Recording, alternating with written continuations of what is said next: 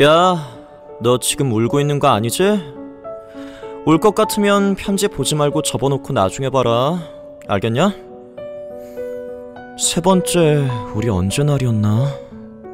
세 번째, 우리 모련제 날이었나? 나 막 울면서 청승 떨었을 때 기억나냐? 그때 네가 나 위로해줬잖아.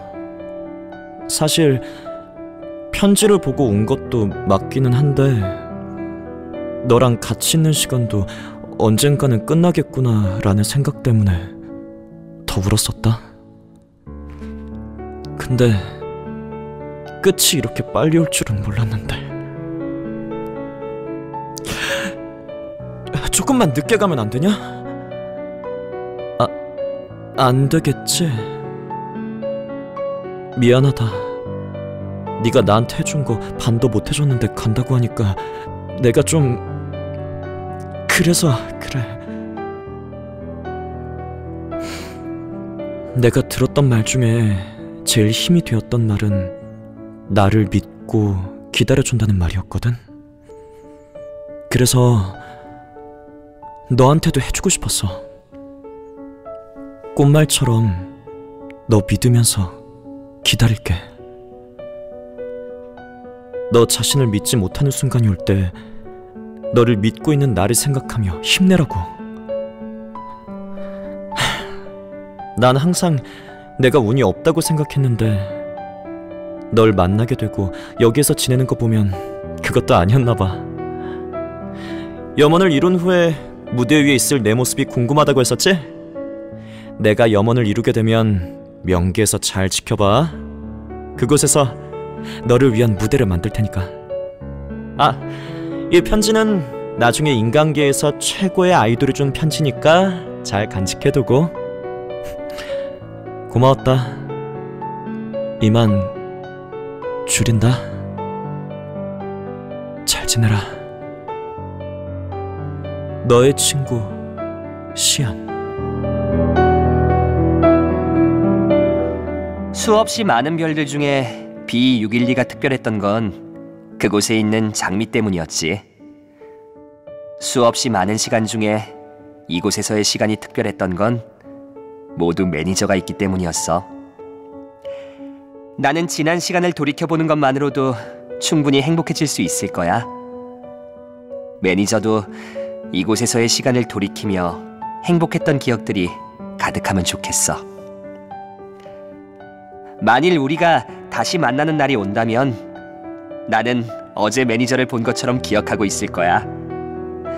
나는 한 번 본 건 잊어버리지 않으니까. 안녕, 내 장미. 다시 보는 그날까지 See you, 지니어스 시릴. 누나, 안녕? 누나가 세상에서 제일 귀여워하는 카티야. 누나한테 편지 오랜만에 쓰는 것 같네.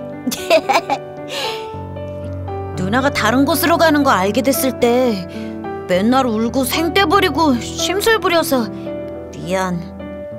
누나가 가는 게 믿기지도 않고 믿고 싶지 않아서 그랬어. 누나는 이해해 줄 거지? 있잖아 누나. 누나는 우리 엄마 아빠 다음으로 나를 제일 많이 사랑해준 사람이다. 그래서 누나한테 더 투정 부리고 그랬나 봐. 그래도 카티 안 믿지? 이제 진짜 안 울고 누나랑 약속한 대로 멋진 카티가 되어갈게. 그래서 다시 누나 만났을 때 누나가 깜짝 놀라게. 꽃은 누나 생각하면서 고른 방울꽃이야. 나랑 닮은 꽃이라서 골랐어. 귀엽지? 이제부터 방울꽃을 보면 무조건 카티 생각 잔뜩 하기야. 누나, 많이 사랑해. 그리고 사랑하는 만큼, 아니, 그보다 더 고마웠어. 누나의 동생, 카티. 일찍이 누군가에게 기약 없는 기다림은 그만두라고 한 적이 있었어요. 그 마음을 모르고 한 소리였다는 걸 이제 알겠네요.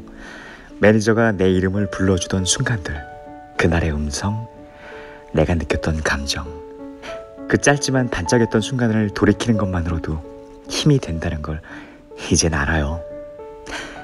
울지 마요. 멀리 있으면 닦아줄 수 없으니까.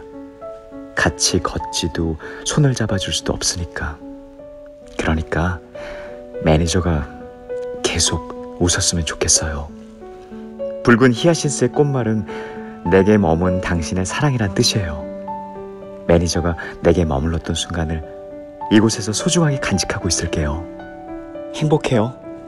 시간이 지나 잊더라도 당신을 생각하던 마음만은 기억해 주길. 노아.